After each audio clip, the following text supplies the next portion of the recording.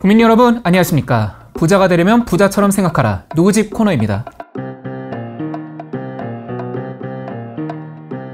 블랙핑크의 리사가 성북동 호화자택을 살짝 공개하면서 많은 팬들의 관심이 쏠리고 있습니다. 리사는 이 집을 사는데 무려 75억 원을 썼다고 하는데요. 왜 하필 리사는 성북동 집을 샀는지 그 이유를 집중 분석해봤습니다. 리사는 최근 올린 생일 기념 영상에서 집을 조금만 보여달라는 팬들의 요청이 많았다며 집 소개를 시작했습니다. 리사가 조심스럽게 현관문을 열자 기다란 복도 너머로 높은 층고에 탁 트인 거실이 펼쳐졌습니다. 인테리어는 차분한 화이트 톤으로 통일되어 있었는데요. 리사는 리모델링을 굉장히 열심히 했다며 뿌듯해했습니다. 리사는 지난해 1월 이 집을 75억 원에 매입했습니다. 등기부등본상 근저당권이 잡혀있지 않아 전액 현금 지불한 걸로 추정되는데요. 지하 1층, 지상 2층 규모, 연면적 208평에 달하는 이 집은 원래 신격호 전 롯데그룹 회장의 손녀 부부가 거주했습니다. 우리나라의 대표적인 부촌으로 꼽히는 성북동은 현정은 현대그룹 회장, 박정원 두산그룹 회장 등 유명 기업인들이 많이 살고 있는데요. 또 배우 유해진 씨도 지난해 성북동 단독주택을 45억 원에 매입했고 래퍼 빈지노도 45억 원에 성북동 집을 구했습니다. 이 밖에도 배우 배용준, 박수진 부부, 가수 이승철도 성북동에 거주하고 있습니다. 성북동은 청와대와 가까워서 과거에 일반인들이 드나드는데 제한이 있었다고 하는데요. 이 덕분에 사생활 노출 꺼리는 정치 권력자, 기업인, 유명 연예인들이 속속 모여들었고 일본, 독일, 덴마크 등 대사관저들도 많이 들어서면서 치안 관리가 더욱 철저해졌습니다. 또 성북동은 걸으면 숨이 찰 정도로 경사진 언덕 지형에 위치해 있습니다. 게다가 대중교통편도 매우 불편하고 인도도 곳곳이 끊겨 있어서 지금도 일반인들의 발길이 거의 닿지 않습니다. 이는 항상 자차를 이용하는 주민들에게는 큰 문제가 되지 않고 오히려 사생활 보호에 유리하게 작용합니다. 또 여성 아이돌 그룹 멤버는 극성 팬, 스토커들로부터 종종 신변의 위협을 겪는다고 하는데요. 세계적 스타인 리사 역시 신변의 위협을 받은 적이 있습니다. 이에 리사도 서울 주요 도심과 거리상으로 가까우면서도 사생활 보호에는 유리한 성북동을 골랐다는 게 부동산 전문가들의 분석입니다. 한편 성북동은 북한산 자락에 위치한 덕분에 공기가 굉장히 맑고 전망도 좋습니다. 특히 풍수학적으로 북한산에 이로운 기운이 모이는 명당이어서 풍수지리에 관심이 많은 자산가들의 소유 역시 끊이지 않는다고 하는데요. 리사도 북한산 명당의 기운을 듬뿍 받아서 오래오래 세계적으로 사랑받는 한류 스타가 됐으면 좋겠습니다. 부자가 되려면 부자처럼 생각하라. 누구 집 다음 주에 뵙겠습니다.